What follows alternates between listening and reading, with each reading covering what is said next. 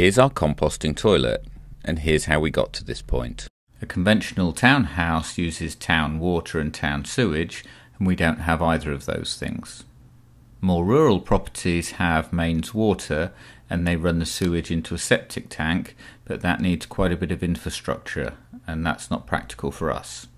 The obvious solution is a composting toilet. The beauty of a composting toilet is you don't need to have a constant running water supply. First time I heard about a composting toilet, I thought that sounded horrible, but after we went and stayed with somebody who actually had one, all the myths got burst and we changed our opinions. A composting toilet is a loo that doesn't use water to flush it.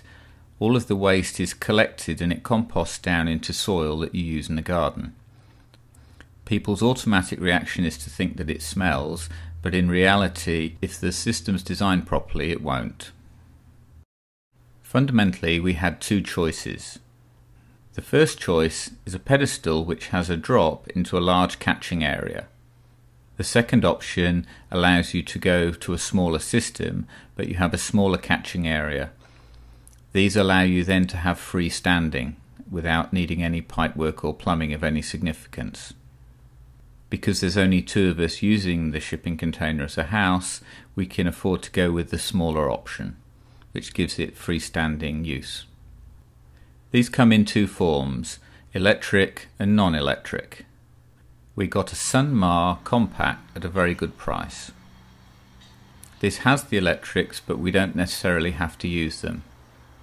This type of composting toilet can be put in a chalet in the Alps or in areas where they ski, so they actually have a heater mat.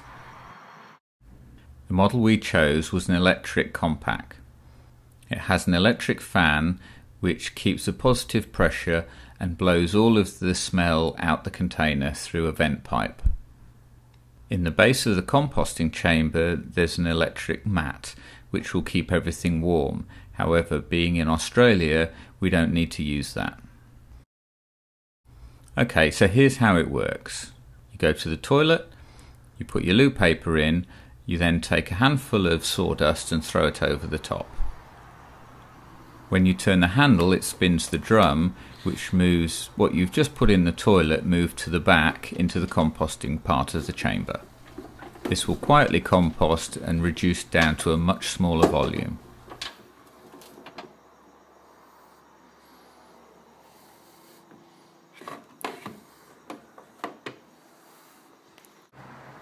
After a few months of composting, you turn the handle in the opposite direction and it takes the small processed soil and it puts it into the finishing tray where it sits for another month or two and then it gets taken outside and buried and put in the garden.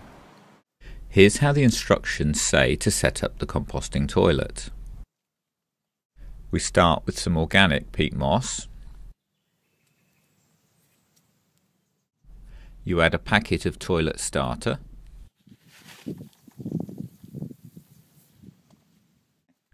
And simply mix this with the peat moss.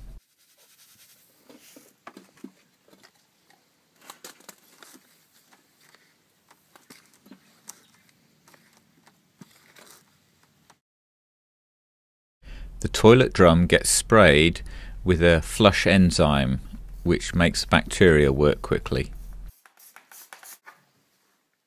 You add the mix into the drum.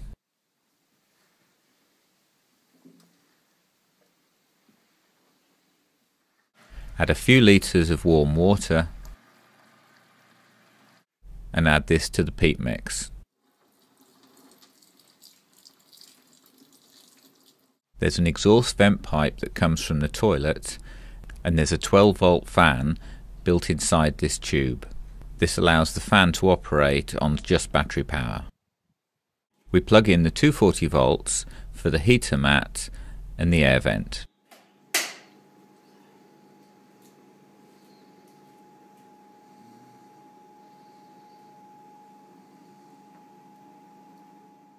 This is the cable for the 12 volt fan that I haven't finished wiring up yet. After the toilet's been used, you simply add a scoop of organic peat mix and sawdust or wood chips. It only took a week of regular use and then using a composting toilet just feels normal.